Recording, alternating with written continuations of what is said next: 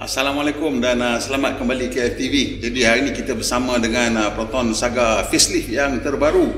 Uh, kita tengok ada beberapa perubahan. Perubahan dia kosmetik dan ada sedikit technical changes uh, dan kita nak akan pusing tengok sikit apakah perubahan-perubahan tersebut. Kita mulakan dengan bahagian luar dulu.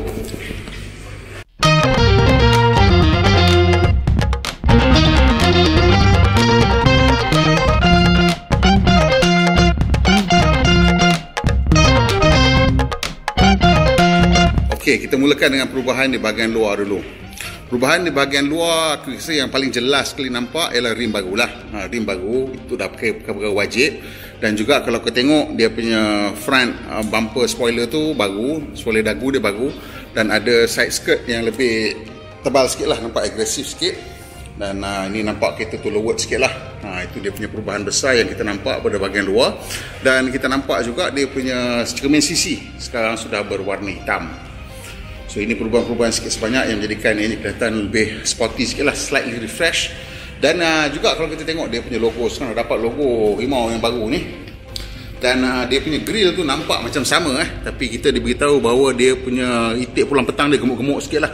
Dia bila itik pulang petang dia gemuk-gemuk sikit nampak lebih agresif dan lebih solid lagi lah. Uh, yang dulu tu nampak halus sikit. Dan ini nampak khas dia punya itik pulang petang tu lebih uh, besar dan agresif sikit. Jadi itu perubahan yang paling yang jelas nampak fog lamp semua sama, bawah under breather sama, lampu sama dan tak ada apa-apa lagi yang lain di bahagian luar. Perubahan besar sebenarnya kereta ni ialah pada technical spec dia lah. Yang pertama sekali kita nampak sekarang dia dah ada keyless entry. Ha, ini satu perkembangan yang sangat penting lah bagus untuk Saga sebab that brings it itu the 21st century lah. Sekarang dah ada semua kereta ada keyless entry. Jadi Saga pun sekarang dah dapat keyless entry. Jadi bila kita masuk ke dalam perubahan-perubahan yang macam biasa dia orang akan lakukan uh, perkara-perkara wajib lah iaitu dia punya balut kursi ini baru. So upholstery baru. Boleh nampak corak-corak baru ni. Dan juga sekarang ada red uh, contrast stitching lah. Ha, balut dia baru. So dekat steering pun kalau kita tengok dapat logo barulah, dapat rimau yang baru dan dekat aircon vent pun ada kemasan warna merah sekarang. Juga pada ha, lantai kapet juga ada kemasan warna merah. Ini semua nak bagi dia akhirnya selari lah dengan uh, iris. Semua kan sekarang semua dapat reka bentuk yang lebih kurang sama. Dan of course korang dah tengok kita dah ceritakan bahawa kereta ni akan dapat push start button. So dah ada push start button dan uh, bila kita tengok dekat dia punya meter cluster meter cluster juga ada perubahan di mana dia punya multi information display sekarang menawarkan lebih banyak maklumat lah. Uh, sebab sekarang dah ada apa tu uh, apa orang panggil uh, killer start lah. Push start button. Jadi kalau tak ada kunci dia akan beritahu kat situ lah. Kat tengah-tengah tu ada beberapa maklumat tambahan. Dari segi dia punya screen tengah ni perubahan tu tak banyak sangat. Iaitu dia sekarang ada uh, macam peringatan. Bila kita dah nak kunci kereta tu dia peringat kita jangan tinggal apa-apa barang lah. Ingatkan semua barang jangan tertinggal apa-apa. Dan uh, dari segi OS dia sekarang dia dah ada connectivity. Masih lagi dulu pun connectivity masih lagi kabel cuma connectivity kali ni dah boleh uh, bersambung kepada iOS kalau dulu Android saja sekarang iOS pun dah boleh sambung dan boleh jadi mirror dekat sini lah. So itu perubahan-perubahan besar pada Saga yang baru ini satu lagi yang terakhir sebelum saya lupa dia punya uh, apa orang panggil aircon control dia menggunakan tombol sama macam iris. Ha yang ni saya suka pasal solid lah. Dia klik dia semua solid agak cantik jugalah. Ha lain pada tu tak ada apa kita demo bagi start tengok betul kan. Start nah push start nah. So sekarang dah ada push start button. Tak malu dan tak segan lah.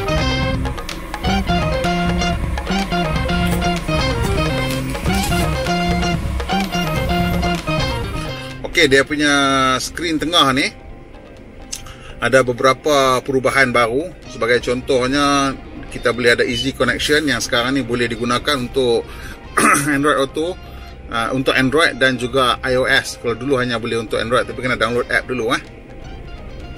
Kemudian uh, ada gallery, ini kena pakai USB.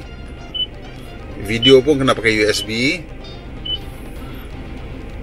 Setting ni ada beberapa setting lah untuk biasa-biasa lah. Bunyi lah apa jam semua setting. Dan uh, untuk screen boleh adjustment. Ini untuk music punya sound style. Nak proton classical heavy metal hip hop ataupun boleh buat manual lah custom. Nah, inilah untuk sound positioning. Nak tolak ke mana? Uh, kalau kita nak dengar uh, ceramah ke apa ke budak-budak semua tak mau dengar kita tarik ke depan so tak kacau mereka kita mereka nak dengar lagu mereka kan? Pasang kat belakang kita tak payah sibuk dengar uh, tu akan buat nambahkan keselesaan lah benda-benda macam tu kan? Uh, selain pada tu ni ada pilihan-pilihan lah muzik apa semua tema. Ni bluetooth music kalau kita ada connecting bluetooth kat situ lah phone bila dah connect kan dia boleh pakai. Tema ni boleh ubah background lah kalau macam ni background hitam. Tengok eh. Kalau yang ini background adalah logo proton buat belakang tu. Kalau yang ini pula itik pulang petang ha, ini aku punya favourite. Nampak ada itik pulang petang tu dan kat bawah ni perubahan aircon ni nampak macam kecil tapi aku suka sebab very positive feel. Punya click dia shock shock pegang. Ni kawal suhu sebelah sini kawal fan speed lah. Eh? kawal fan speed. Kemudian sekarang dah ada butang recirculate lah. Eh? dan juga butang on off dia punya kompresor lah aircon dia sebenarnya. Untuk um, easy connection tadi tu kena menggunakan kabel kat bawah macam ni lah ha, macam dulu pun sama menggunakan kabel sekarang pun masih lagi menggunakan kabel.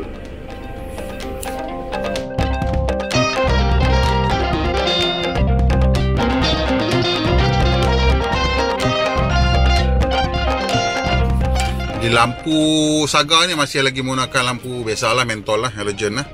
Tu lampu kecil position light. Ni adalah dia punya low beam. Ni dia punya high beam dia lah dan kalau kita tutup habis dia punya DRL akan menyala. So bila kita pasang position light DRL padam. Ha? DRL padam. So nampak di situ kan? Ni lampu besar. Ha, lampu bawah. Ni lampu tinggi. Ya. Yeah. hmm. fog lamp tak tak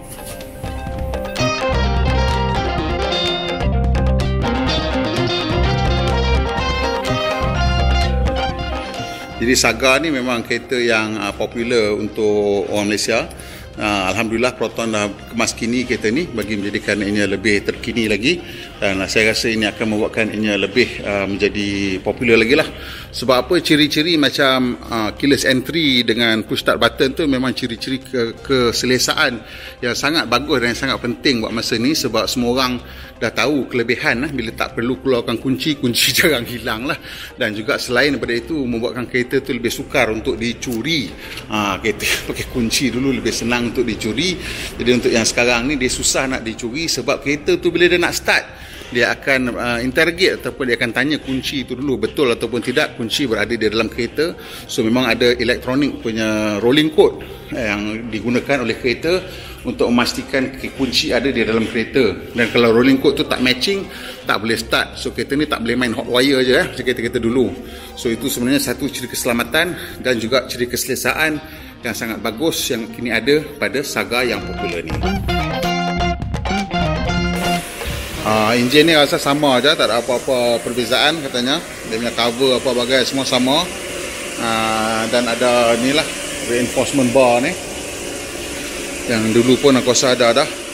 Dan uh, ini akan memang membantulah pasal Saga ni kalau kita kereta dalam kategori ni antara yang paling sedap bawa lah. Tadi tak boleh nak kata apa bawa laju pun sedap dia steady lah nak kata laju sangat tak laju tapi dia steady at all speed lah sampai dia punya max, maximum speed pun dia masih steady lagi jom kita tengok boot sat. Boot ada release sat. Oh, boot ada. Ada electronic release untuk boot kat belakang ha? dan itu dia punya reverse camera. Belakang kemasan hitam lah macam dulu. Tulisan proton dan saga. Hmm, belakang sama biasa tak ada apa-apa beza. Tapi kira kereta ni dah comel dah. Eh tu kereta sedan dalam kelas ni ni antara paling comel lah. Payah nak cari comel lagi ya. Eh, comel lah comel. Rupa dah rupa dia comel. Hak ni aku tak kenal besar nak. Nampak ke mana dia design macam tu.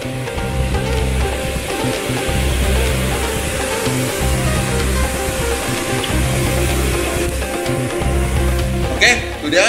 Saga terbaru. Apa pendapat nampak? Adakah kereta ni berbaloi dengan uh, tawaran ter terbaru Proton, harga apa semua spesifikasi ni? Adakah ia akan terus menjadi produk yang uh, popular untuk Proton ataupun uh, orang kata sama aja. Pada aku orang kata perubahan itu walaupun kecil bermakna lah. Terutama sekali keyless entry dengan start button tu nampak macam satu ciri keselesaan saja tapi sebenarnya ialah satu ciri keselamatan yang sangat penting kan membuatkan kereta ni sukar untuk dicuri lah ha, itu saya. Pada saya saya rasa ini perubahan yang bermakna. Ok sampai situ je video kita kali ini kalau suka berkenaan tekan. Bila butang like tolong aku dan juga tekan butang kongsi yang kawan-kawan. Ramai agak peminat saga kan? Ha, lepas tu biasalah tekan butang uh, langganan dan juga tekan butang loceng supaya dapat makluman terkini bila kita mau naik video terbaru. Pemandu Malaysia pemandu yang berhemah kita jumpa lagi insyaAllah